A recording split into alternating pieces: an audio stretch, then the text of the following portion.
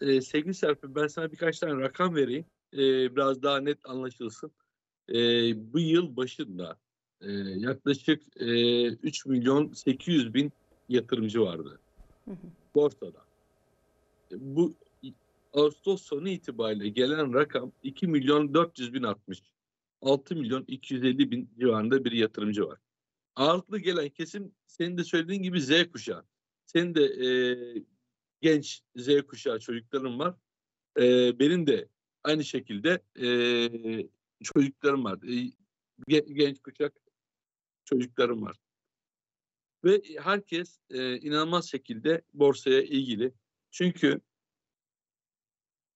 benim anladığım kadarıyla biz bunu 1980'lerde de hatırlarsın e, Castelli e, bankerler dönemi. Hep kolay paraya ulaşımla alakalı biraz da. E, daha sonra Titanlar, e, Forex piyasaları, yüksek kaldıraçlı işlemler, şimdi Bitcoin'ler çok kolay hızlı bir şekilde paraya ulaşma yönünde gençlerin bir arzusu var diye görüyorum. E, çünkü gelinen ekonomik şartlarda maalesef e, gençler çalışarak, maaş alarak belli bir varlık edinemeyeceğini düşünüyorlar. Yenilen ekonomik şartlar biraz gençleri düşündürüyor. Ee, ve çocuklar e, daha hızlı bir şekilde nasıl para kazanır ve sermaye piyasaları da son dönemde inanılmaz bir ilgi gö- e, gösterdi. Sana da az önce ifade ettim. 2 milyon 460 bin yeni katılımcı gelmiş borsaya. Biraz kolay para, hızlı paraya ulaşma anlamında hı- e, bir çalışma gibi ama ben şöyle düşünüyorum. E, gençler bir şirket özellikle halka arzlarda da farkındasın. inanılmaz talepler geldi. E, ben e, inanılmaz şaşırıyorum bu duruma. E, yüksek talepler e, biraz da korkutuyor beni açıkçası. Çünkü bu şirketler sen de biliyorsun halka arzı yapılırken bir değerleme yapılır. Denir ki e, şu şu şu kriterler var. Bilançosu bu, gelecek vizyonu bu. Bu şirketin olan bir değeri bu kadardır. Ve biz yüzde 10, 15 neyse iskonto yaparız. Halka arzda ilgi ol- olsun diye. Ve şirketi halka arz ederiz derler.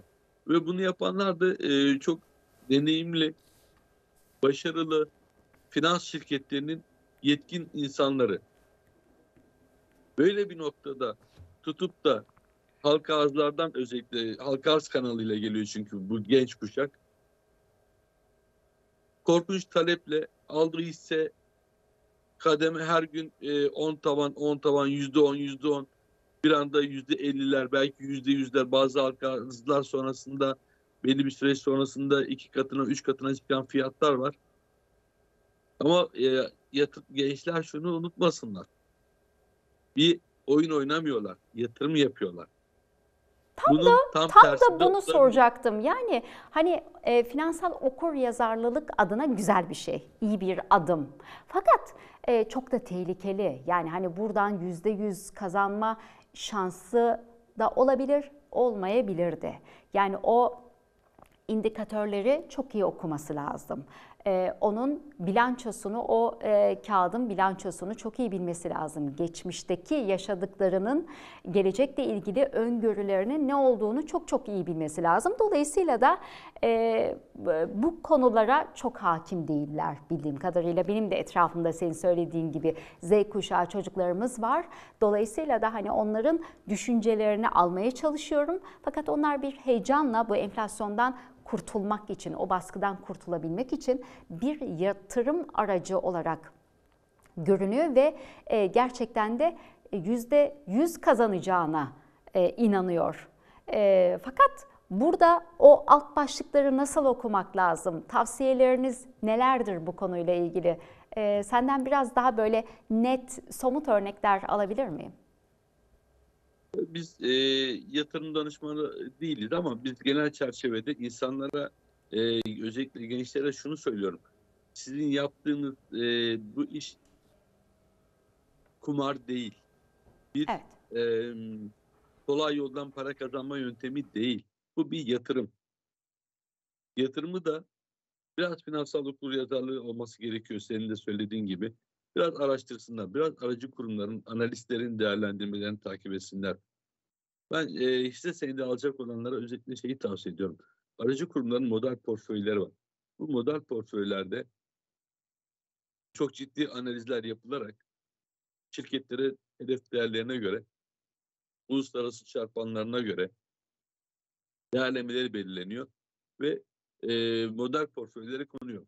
Benim gördüğüm kadarıyla bu aracı kuruluşların, finans şirketlerinin model portföyleri her zaman endeksin üzerinde, e, genellikle diyelim, e, e, endeksin üzerinde, enflasyonun üzerinde yatırımcılarına para e, kazandırabiliyor. Benim yine bir tavsiyem de hani e, biz kendi aramızda da ekonomi gazetecileri konuşuruz. Yumurtayı tek sepete, e, tüm yumurtaları aynı sepete koymamak. Tırnak içerisinde özellikle belirtiyorum. Hisse senedi alegasyonunda, dağılımında biraz daha e, farklı sektörlerden hisselere yatırım yapmak. Bu bir yöntem olabilir. İki de farklı yatırım alternatiflerini de düşünmek gerekebilir.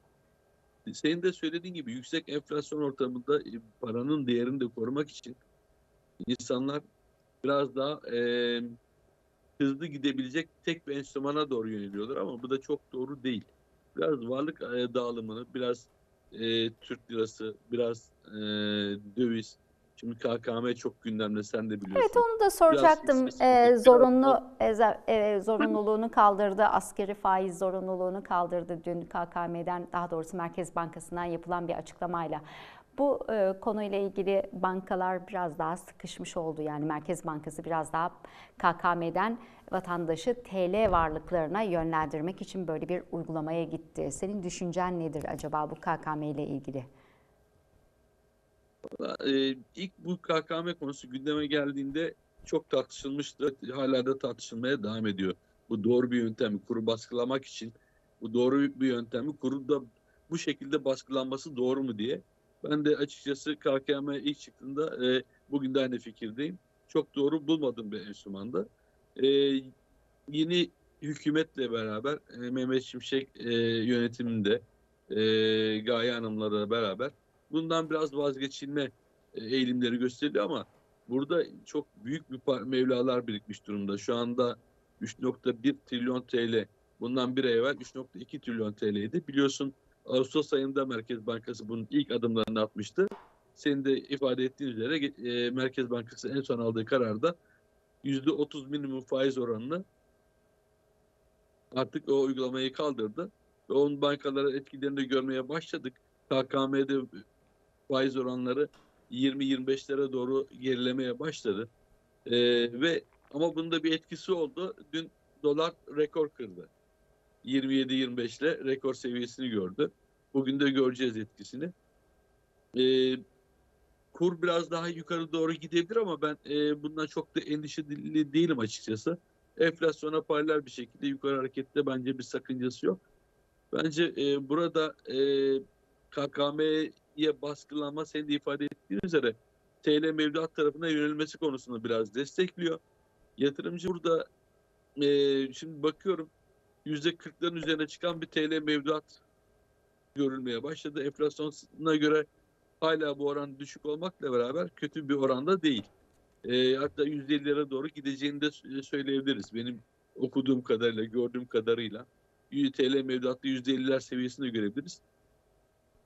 Bankalarında e, özellikle KKM müşterilerine yönelik TL mevduat tarafında önerilerin artmaya başladığını görüyoruz. Kamu bankaları tarafında daha hızlı şekilde ilerlediği söyleniyor. E, Valla e, ben bir an evvel e, bu KKM konusundan mümkün olduğu ölçüde e, kura çok büyük de baskı yapmadan kurtulması yönünde e, düşüncem var. Merhaba arkadaşlar ben Halil Nebiler. Ulusal YouTube kanalına göz attığınız için peşin peşin teşekkür ederim. Eğer daha fazla video, program özeti, ne bileyim canlı yayın falan izlemek isterseniz sağ taraftaki abone ol butonuna tıklayabilirsiniz. Butonlar da aşağıda mı yukarıda mı aşağıda galiba değil mi? Heh, oraya tıklayabilirsiniz. Son dakika haberleri için ulusal uygulamasını indirmeyi unutmayın. Şimdiden izlediğiniz için teşekkür ederim.